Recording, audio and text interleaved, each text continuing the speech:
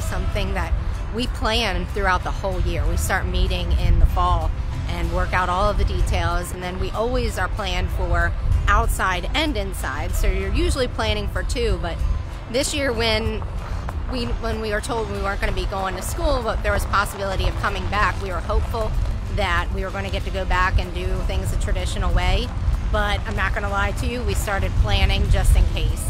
So when the governor announced that we would not be returning, we had a draft, we had a plan of various different things, this being one of them, um, that we would be able to do to make sure that our students were celebrated.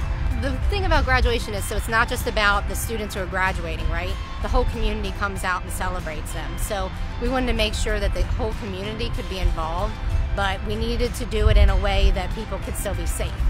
The graduation itself, the virtual, is going to be really cool. It has all of the elements of graduation. We recorded our speeches out on the football field.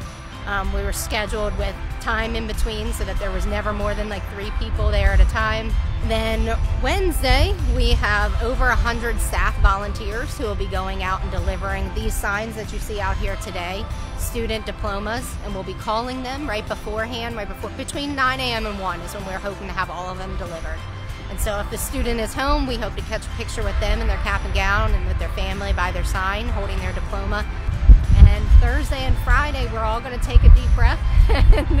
you know, we do still plan to have a graduation celebration in person when we can.